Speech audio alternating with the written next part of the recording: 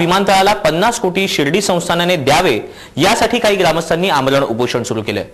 तसंच विरोधक आणि समर्थक यांनी रस्त्यावर उतरूनही एकमेकांचे पुतळे जाळले. शिर्डी विमानतळाचं काम एक एप्रिलपासून फंड नसल्यामुळं बंद पडून आहे.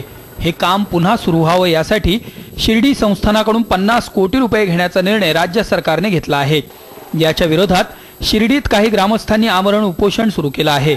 तसंच बुधवारी शिर्डी बंदचंही आयोजन करण्यात आलं होतं. मात्र आता यावर राजकारण तापू लागलं आहे. शिर्डीत या मुद्द्यावरून आता दोन गट निर्माण झाले आहेत. एक गट याचा विरोध करतोय तर दुसरा गट समर्थन करत विमानतळ बनवण्यासाठी पन्नास कोटी रुपये देण्यात यावे अशी मागणी करत आहे. पन्नास कोटी देण्यात यावे अशी मागणी करणाऱ्या ग्रामस्थांना काकडी गावासह दहा गावातील ग्रामस्थांनी समर्थन दिलं आहे.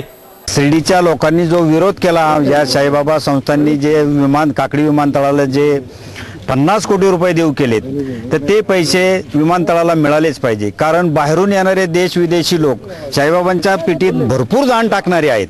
भरपूर दाण टाकणारे असण्या कारणानं ह्या खेड्याचा सगळा विकास होऊन जाईल. आमच्या विकासाच्या कामाला आड येणाऱ्यांना आम्ही पण सोडणार नाही. आम्ही आमचं त्यांना जागा त्यांना त्यांची जागा त्यांना दाखवून दिली देणारच आहोत. आणि आम्ही पण त्यांना सोडणार नाही. आमच्या विकास कामाला त्यांनी का पण खेळ घालावी आम्ही त्यांना विचारू शकतोय ना. काकडी गावात असलेल्या प्रस्तावित शिर्डी विमानतळाचं काम जर लवकरात लवकर पूर्ण झालं तर काकडीसह दहा गावांचा विकास होणार आहे. यासाठी दहा गावातील ग्रामस्थांनी रस्त्यावर उतरून विमानतळाला विरोध करणाऱ्यांचा पुतळा जाळला. तर दुसरीकडे साईबाबांच्या तिजोरीतून एक रुपया सुद्धा विमानतळासाठी दिला जाणार नाही असा पवित्रा या विमानतळाला विरोध करणाऱ्या ग्रामस्थांनी घेतला आहे. आणि त्यांनी या विमानतळाचं समर्थन करणाऱ्यांचा पुतळा जाळला.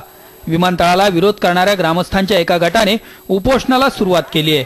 तर आता विमानतळाला समर्थन करणाऱ्या ग्रामस्थांनी सुद्धा उपोषणाला सुरुवात केली आहे. शिर्डीहून सुनील दवंगेसह गणेश कुंबळे समय मुंबई.